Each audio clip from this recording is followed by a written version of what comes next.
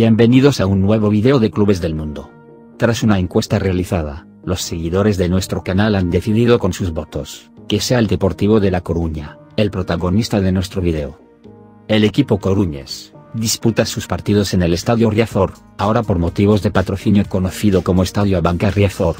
Cuenta con un aforo para algo más de 32.000 espectadores. Su primera construcción data de 1909, en el terreno que hoy ocupa la iglesia de las esclavas, a escasos metros de su actual ubicación. Su segunda construcción, ya en su actual ubicación, fue en 1944. El estadio ha tenido varias remodelaciones, como la de 1982, con motivo del Mundial de Fútbol de 1982, y la última, comenzada en 1996, con la construcción del fondo de pabellón y terminada en 1997, con la remodelación del fondo de maratón. Durante 2015, se realizaron mejoras, como nuevos marcadores de mayor tamaño ubicados en los dos fondos. El Real Club Deportivo de La Coruña, fue fundado en 1906, lo que le convierte en el club decano de Galicia. El Deportivo, es uno de los nueve clubes españoles, que se han proclamado a lo largo de la historia, campeones de Liga de Primera División, título conquistado en la última temporada del siglo XX, concretamente en el año 2000. A eso hay que sumar cinco subcampeonatos de Liga. El Deportivo ocupa el duodécimo puesto histórico de la Liga Española. Ha logrado ganar dos veces la Copa del Rey, en 1995 y 2002. En tres ocasiones conquistó la Supercopa de España, en 1995, 2000 y el 2002. A nivel continental, ha disputado cinco ediciones de la Copa UEFA, una de la Recopa de Europa, y cinco de la Liga de Campeones, consecutivamente entre 2000 y 2005, alcanzando las semifinales en 2004, y siendo el sexto club español con más participaciones en la competición. A nivel social, cuenta con más de 26.000 abonados, y 25.400 accionistas, siendo según el FIS, el octavo club con mayor porcentaje de aficionados en España. Nos remontamos a los inicios. El Deportivo nació el 8 de diciembre de 1906, con el nombre oficial de Club Deportivo de la Sala Calvet. Tres años después de su fundación, en 1909, el rey Alfonso XIII, concedió al club el título de Real. En la década de 1910, tuvo una gran rivalidad contra los otros dos equipos de Vigo por entonces, que eran el Fortuna, y el Vigo Sporting.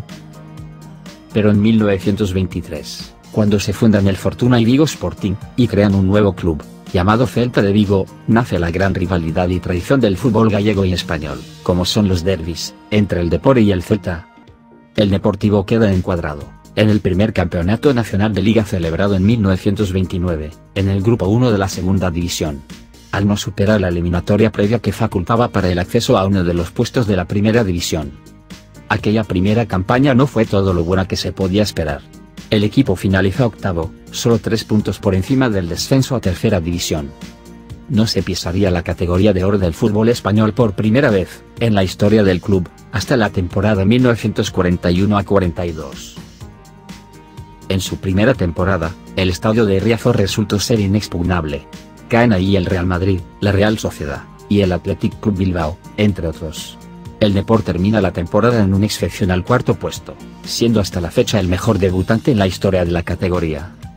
La primera gran racha de resultados, en la historia del club, se produce entre 1948 y 1957, con nueve años consecutivos en la máxima categoría, lo que por entonces se llamó la década de oro. En 1950, lograría un valioso subcampeonato de liga, y en la que estuvo a punto de ganar el campeonato.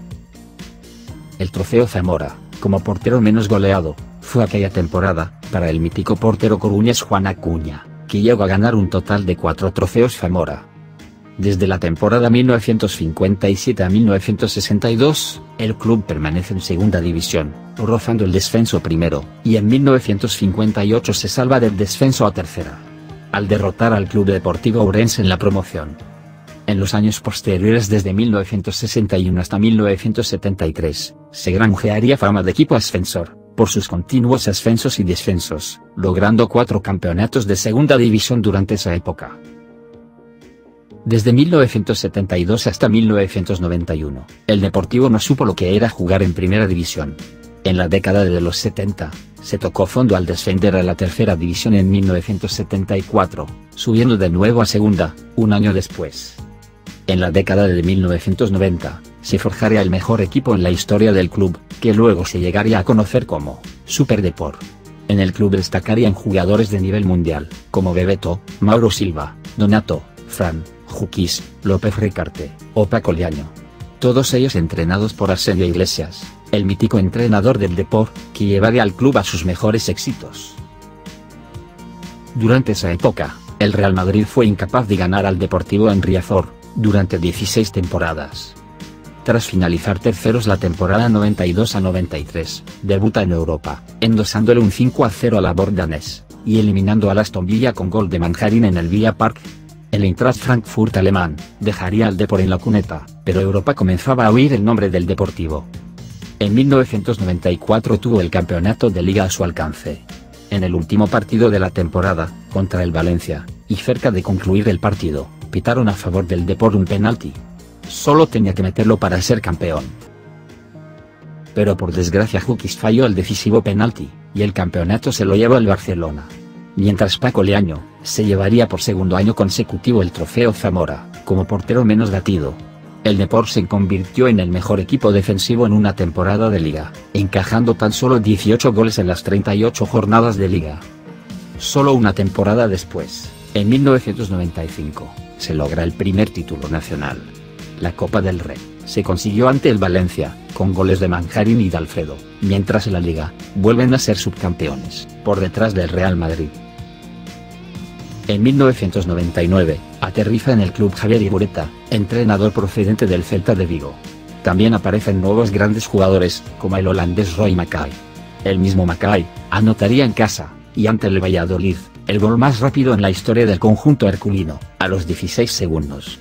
El mismo Macay que haría un doblete para doblegar al Barça por dos goles a uno, confirmando un inicio de liga espectacular en su primer año en el equipo. Esta sería finalmente la temporada, en el 2000, donde el Deportivo lograría ganar su primer campeonato de liga. Fue la coronación en la historia culina. 50.000 coruñeses celebraron en la ciudad el título logrado, y unas 20.000 personas llenaron la plaza de María Pita al día siguiente, para recibir a los campeones.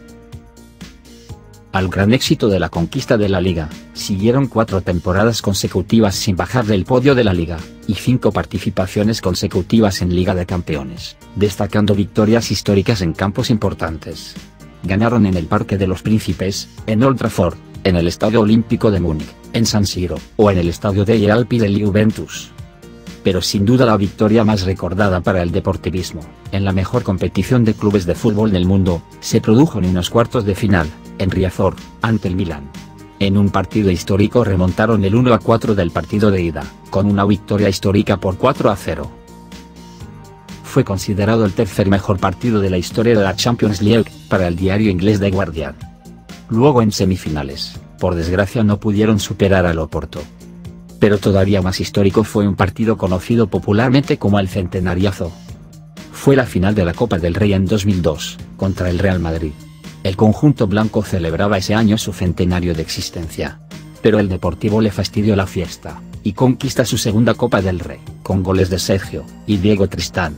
Ese mismo año, también conquistan su tercera Supercopa de España, y en la Liga logran su quinto subcampeonato.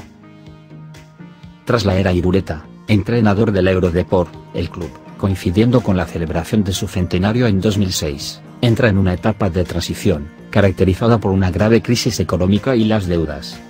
Tras 20 años consecutivos en la máxima categoría del fútbol nacional, en 2011, se desciende a Segunda División, convirtiéndose en el equipo que desciende, con más puntos de la historia de la liga, en concreto 43 puntos.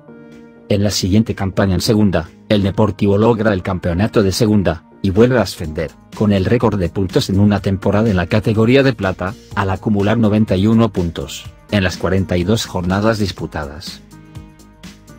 De 2014 a 2018, el Depor consigue una racha de cuatro temporadas consecutivas en Primera División, siempre al borde del descenso, y que finalmente no puede evitar en 2018. Desde entonces, el club lucha por sobreponerse a la difícil situación económica, y también deportiva, sobre todo en la temporada de 2019-20 en Segunda División.